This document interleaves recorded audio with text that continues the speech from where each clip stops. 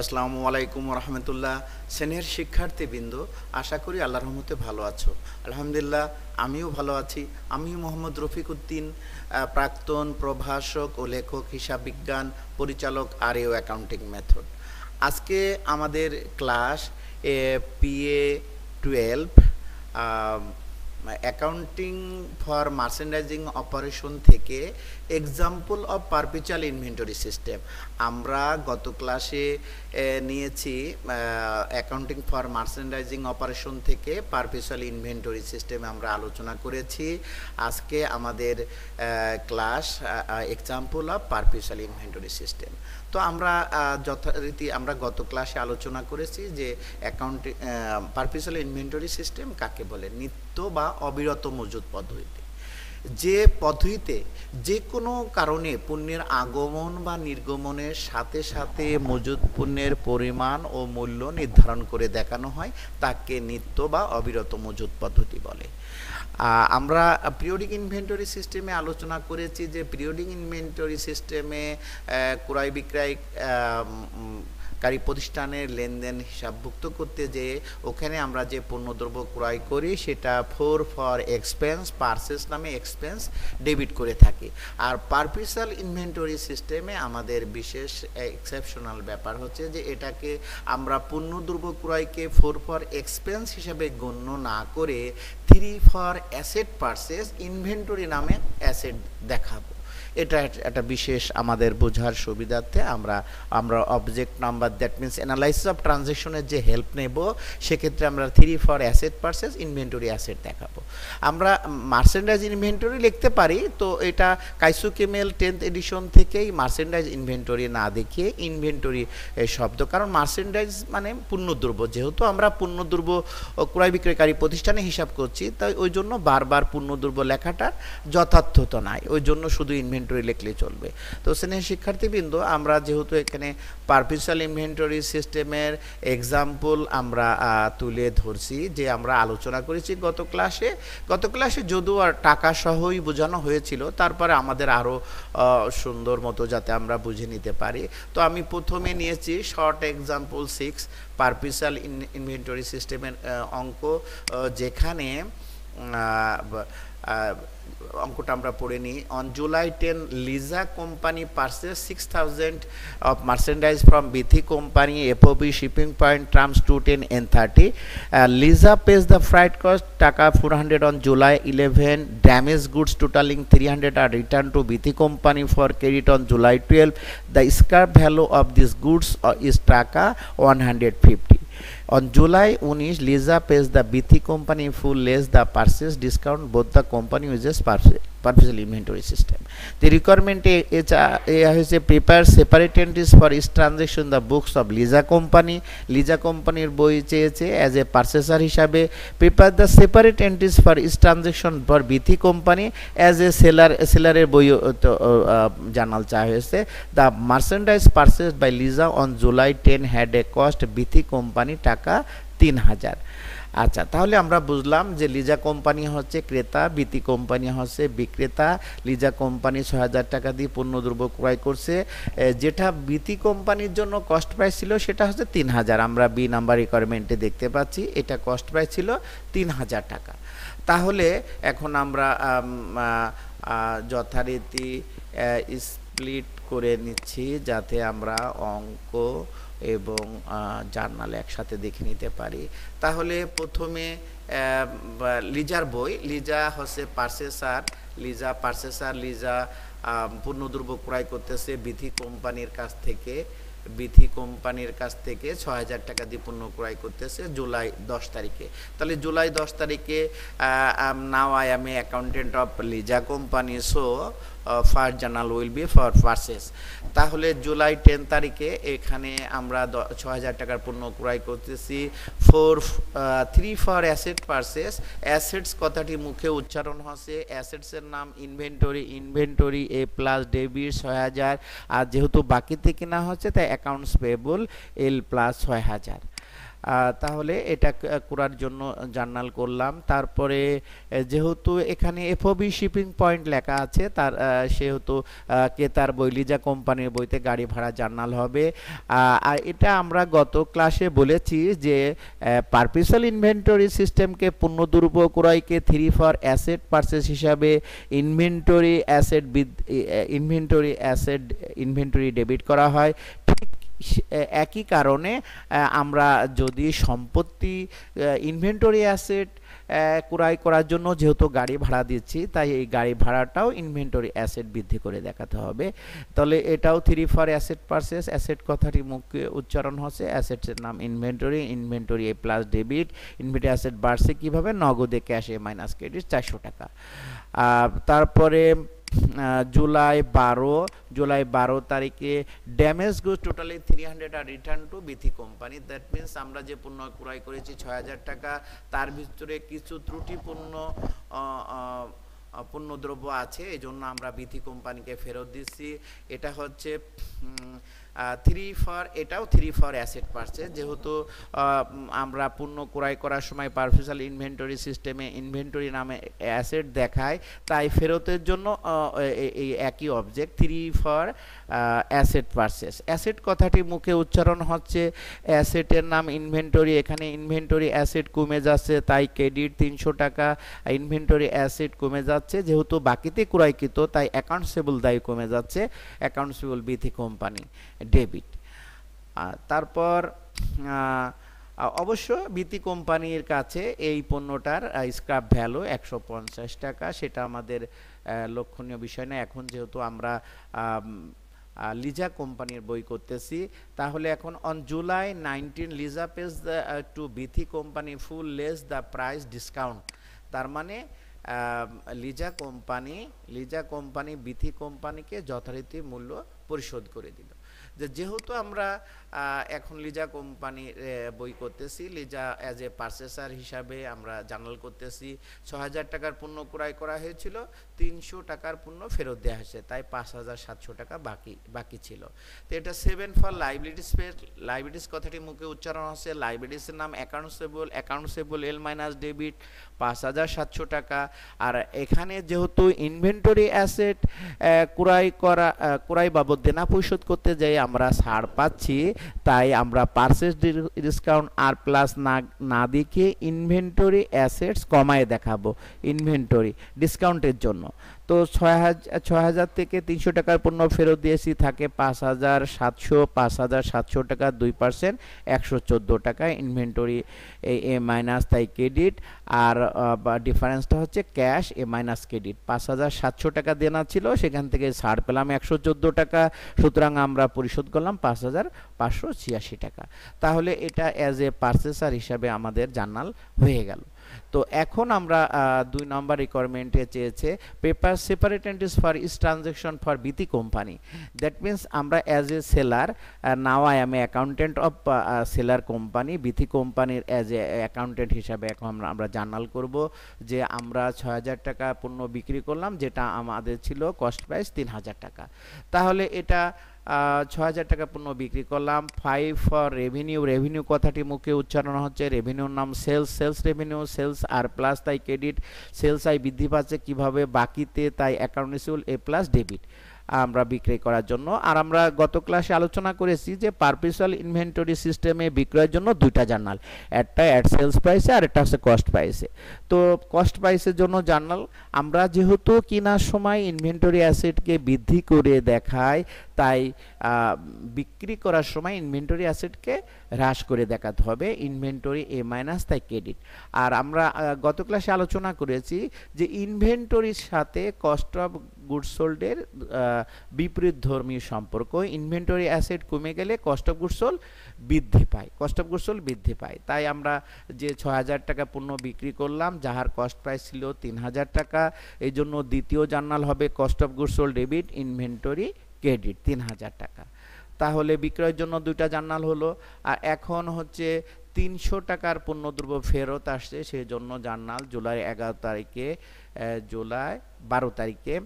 তাহলে এটা হচ্ছে five for revenue five for revenue revenue কথাটি মুখ্য উচ্চারণ হচ্ছে, এখানে রেভিনিউর নাম হবে sales return and allowances sales returns and allowances আমরা গত প্রথম ক্লাসেই বলেছিলাম যে রিটার্নস এবং অ্যালাউন্সেস একসাথে লেখা হয়।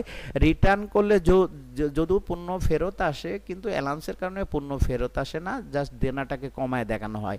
তো ফেরত আসা এবং সেলস রিটার্নস এবং অ্যালাউন্সেস কারণে, উভয় কারণে যেহেতু অ্যাকাউন্ট রিসিভেবল কমে যায়, তাই একসাথে এটা লেখা হয়। Sales return and allowances R minus তাই ডেবিট আয় কমে যাচ্ছে কীভাবে? বাকিতে যে বিক্রি করেছিলাম অ্যাকাউন্টের অ্যাসেট কমে যাচ্ছে account receivable A minus credit আচ্ছা। আর যে এখানে যেহেতু পণ্য ফেরত আসছে, আর সেই ফেরতকৃত পণ্যের মূল্য স্ক্র্যাপ ভ্যালু হচ্ছে দেড়শো টাকা, তাই আমরা এখন ইনভেন্টরি অ্যাসেট বৃদ্ধি করে আমরা জার্নাল দেখাচ্ছি।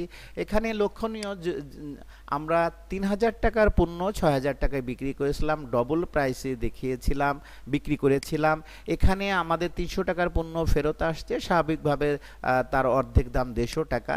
এখানে যদি এমন হতো যে কস্ট প্রাইস একশো পঞ্চাশ টাকা, কিন্তু স্ক্র্যাপ ভ্যালু একশো টাকা, সেক্ষেত্রে অবশ্যই আমাদের একশো টাকা নিয়ে জার্নাল করতে হতো। আমরা এটা আমরা যারা কমার্সে পড়েছি এসএসসি ইন্টার থেকে জানি যে মজুদ পণ্য মজুদ পণ্য ক্রয় মূল্য বাজার মূল্যের মধ্যে যেটি কম, রক্ষণশীল নীতি অনুসারে কম মূল্যটা দেখাতে হয়।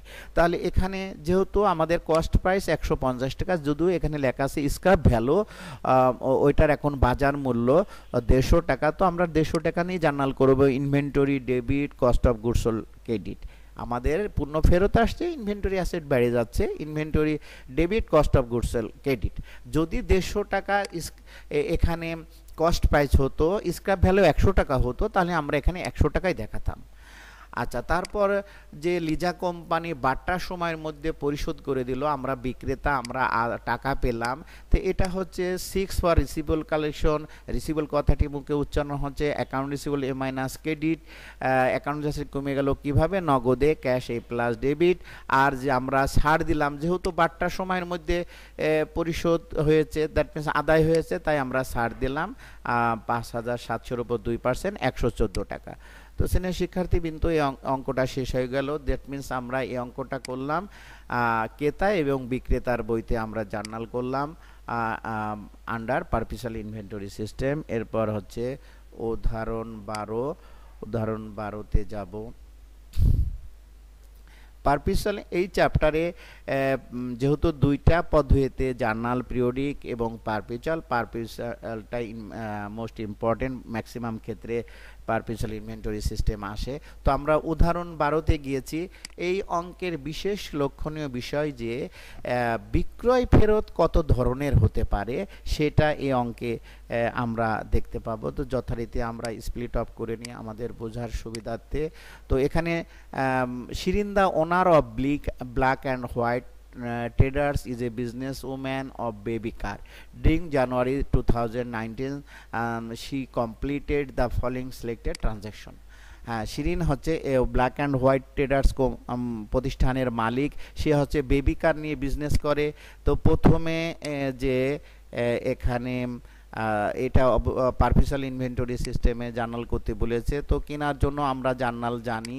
আমরা এখানে লোক এক্সেপশনাল যেটা, সেগুলোই আলোচনা করব। যে চার তারিখে আমরা পণ্য বিক্রি করতেছি, আমরা কিনেছিলাম এক একটা বেবি কার হচ্ছে পাঁচশো টাকা দিয়ে, কিন্তু আমরা বিক্রি করছি সাতশো পঞ্চাশ টাকা করে। এবং এখানে দেখা যাচ্ছে যে চার তারিখে আমরা তিনজন কাস্টমারের কাছে পণ্য বিক্রি করেছি এম কোম্পানির কাছে পঁচিশ ইউনিট এন কোম্পানির কাছে থার্টি ইউনিট এবং ও কোম্পানির কাছে চল্লিশটা ইউনিট এখন দশ তারিখে এম কোম্পানির কাছ থেকে পণ্য ফেরত আসছে পাঁচটা বেবি কার ফেরত আসছে, আর বারো তারিখে এন কোম্পানির কাছে পাঁচটা ফেরত আসছে যেটা পথের মধ্যে একটু নষ্ট হয়েছে, যার স্ক্র্যাপ ভ্যালু পনেরোশো টাকা। আর তেরো তারিখে ও কোম্পানিকে সাতশো পঞ্চাশ টাকা অ্যালাউন্স দেওয়া হচ্ছে।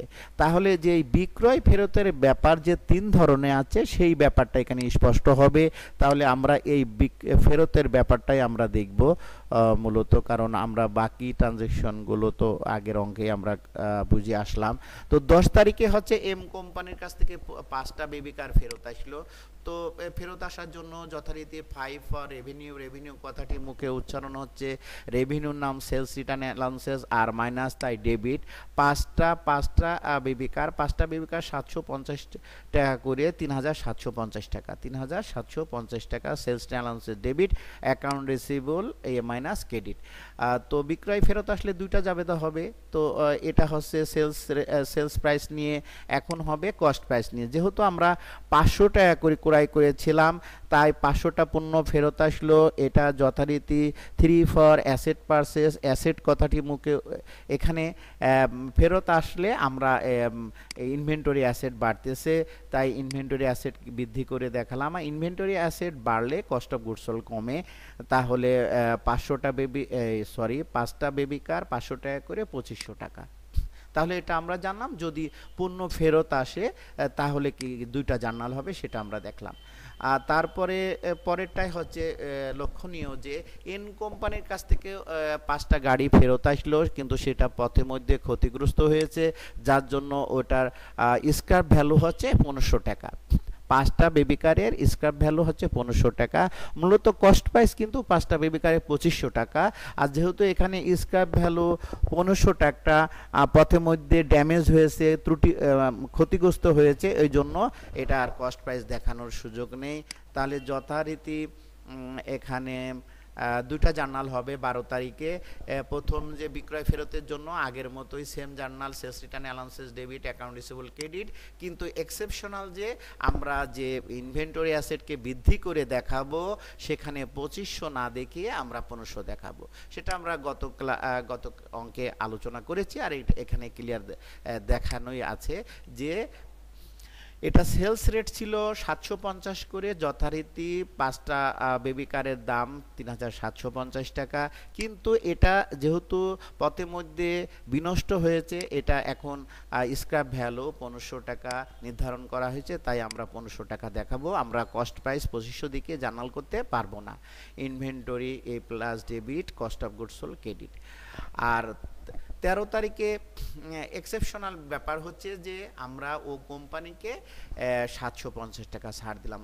আমরা ও কোম্পানির কাছে চল্লিশটা বেবি কার কিনেছিলাম, সেটা কিছুটা ত্রুটিপূর্ণ হয়েছে, আপত্তি জানিয়েছে, তাই আমরা বললাম, ঠিক আছে তুমি সাতশো পঞ্চাশ টাকা আমাদেরকে কম দাও। এটা দেনা পরিশোধ করার আগেই ছাড় দেওয়া হলো, সাতশো পঞ্চাশ টাকা। এটা যেহেতু পূর্ণ ফেরত আসছে না এই জন্য শুধু ফেরতের জার্নাল হবে বাট ইনভেন্টরি অ্যাসেট বৃদ্ধি করার জন্য জার্নাল হবে না, কারণ আমাদের বেবি কার ফেরত আসছে না। তাহলে থার্টিন ডেটে হচ্ছে ফাইভ ফর রেভিনিউ রেভিনিউ কথাটি মুখে উচ্চারণ হচ্ছে রেভিনিউর নাম sales return and R minus তাই debit account receivable A minus credit সাতশো পঞ্চাশ টাকা। তো আমরা এই অঙ্কটার মাধ্যমে ফেরত, ফেরতের ব্যাপারটা যে তিন ধরনের সিচুয়েশন ক্রিয়েট হতে পারে, সেটা আমরা এই অঙ্কের মাধ্যমে বুঝলাম। তা এখন আমাদের যেটা টার্গেট চোদ্দ নাম্বার উদাহরণ চোদ্দ নাম্বার উদাহরণ নিশ্চয়ই কিছু এক্সেপশনাল ব্যাপার আছে। হ্যাঁ এই চোদ্দ নাম্বার অঙ্কে এখানে বিশেষ লক্ষণীয় যে এই অঙ্কটা হচ্ছে কে পিরিয়ডিক এবং পারপিচাল ইনভেন্টরি সিস্টেমে ক্রেতা এবং বিক্রেতার উভয়ের বই দেখাতে বলেছে। তো এখানে কঠিন কিছু না জাস্ট দেখে নেওয়ার বিষয় যে একই এখানে পাঁচটা ট্রানজেকশন দেওয়া আছে, এটা পিরিয়ডিক সিস্টেমে ক্রেতার বই, বিক্রেতার বই, আবার পারপেশাল সিস্টেমে ক্রেতার বই, বিক্রেতার বই করতে হবে। তো এখানে সবচেয়ে লক্ষণীয় বিষয় যে এখানে বলে দেওয়া আছে সেলস প্রাইসের সেভেন্টি প্রাইস হচ্ছে কস্ট প্রাইস আমি যখন বিক্রেতার বই করব, তখন আমি সেলস প্রাইসের পাশাপাশি কস্ট প্রাইস নিয়ে আরেকটা জার্নাল করব। এটাই লক্ষণীয় যে এখানে আমরা প্রথমে পিরিয়ডিক ইনভেন্টরি সিস্টেমে ক্রেতার বই দেখাচ্ছি, তারপরে আবার বিক্রেতার বই সেলার কোম্পানি, এই পিরিয়ডিক সিস্টেমে গেল। এবার পারপিউজাল সিস্টেমে হচ্ছে ক্রেতার বই, তারপরে আবার বিক্রেতার বই। এই অঙ্কটার বিশেষত্ব এটাই। তারপরে আমরা সতেরো নাম্বার উদাহরণ, সতেরো নাম্বার সতেরো নাম্বার উদাহরণে কি আছে? সতেরো নাম্বার হ্যাঁ। সতেরো নম্বর উদাহরণে যে বিষয়টা আছে, সেটা আগের উদাহরণে আলোচনা হয়ে গেছে যে ও কোম্পানির কাছ থেকে, ও কোম্পানির কাছ থেকে কোনো পণ্য ফেরত আসছে না, তাকে আমরা ওভারঅল সাতশো পঞ্চাশ টাকা ছাড় দিয়ে দিয়েছি অ্যালাউন্স দিয়ে দিয়েছি। তো এখানেও তাই যে পারপেসাল ইনভেন্টরি সিস্টেমে আমরা ক্রেতাকে এক হাজার টাকা ছাড় দিলাম এটা হচ্ছে ফেরতের জাবেদা হবে, কিন্তু ইনভেন্টরি অ্যাসেট বৃদ্ধি পাওয়ার জন্য জার্নাল হবে না, কারণ এটা হচ্ছে আসলে দেনা আদায় যে পাওনা টাকা আদায় করার আগেই ছাড় দেওয়া হচ্ছে, পূর্ণ ফেরত আসছে না। কিন্তু ফেরতের জন্য প্রথম জার্নালটা হবে sales return allowances debit account receivable credit তো সেনে শিক্ষার্থীবৃন্দ, আমরা পারপিসাল ইনভেন্টরি সিস্টেমের উদাহরণ কিছুটা আলোচনা করলাম। তো এখানে পারপিসাল ইনভেন্টরি সিস্টেমের অঙ্কই বেশি ইম্পর্টেন্ট তো পারপিসাল ইনভেন্টরি সিস্টেম আমরা কি কি দেখে বুঝব? এর আগে আলোচনা করেছি যে যদি অঙ্কে সেলস প্রাইসের পাশে কস্ট অফ গুডস সোল দেওয়া থাকে। তারপরে যদি বা সেলস প্রাইসে কত পার্সেন্ট কস্ট প্রাইস তা বলা থাকে অথবা বলা থাকে যে এই প্রতিষ্ঠান সেলসের ওপর এত পার্সেন্ট প্রফিট করে, এইগুলো যদি কোনো একটা বলা থাকে, তাহলে অবশ্যই আমাদের পারফেশনাল ইনভেন্টরি সিস্টেমে জার্নাল করতে হবে। কিন্তু এগুলো থাকা সত্ত্বেও যদি পিরিয়ডিক ইনভেন্টরি সিস্টেম বলে, তাহলে অবশ্যই পিরিয়ডিক ইনভেন্টরি সিস্টেমে অঙ্ক করতে হবে। তো সিনিয়র শিক্ষার্থীবৃন্দ গত ক্লাসে পিরিয়ডিক ইনভেন্টরি সিস্টেমের এক্সাম্পল বলার সময় বলেছি যে আমার এই বইতে এখানে উনিশ সাল পর্যন্ত সেভেন কলেজ এবং ন্যাশনাল ইউনিভার্সিটির সব সমস্ত এক্সাম্পল দেওয়া আছে এবং সব চার ডিপার্টমেন্টের জন্য একটাই বই দাঁড় করানো হয়েছে যাতে স্টুডেন্টরা বেশি উদাহরণ পায়। সব সব ডিপার্টমেন্টের সব বোর্ডের সলিউশন যদি এক জায়গায় পাই, তাহলে আমাদের বিভিন্ন ধরনের অঙ্ক বুঝে নিতে সুবিধা পাওয়া যাবে। তাই একেবারে উনিশ সাল পর্যন্ত সমস্ত বোর্ডের উনিশ সাল পর্যন্ত সব ডিপার্টমেন্টের কোশ্চেন সলিউশন এক জায়গায় করে দেওয়া হয়েছে। তো শ্রেণির শিক্ষার্থীবৃন্দ, সবার সুস্বাস্থ্য এবং মঙ্গল কামনা করে আজকের মতো ক্লাস শেষ করছি। আসসালামু আলাইকুম রহমতুল্লাহ।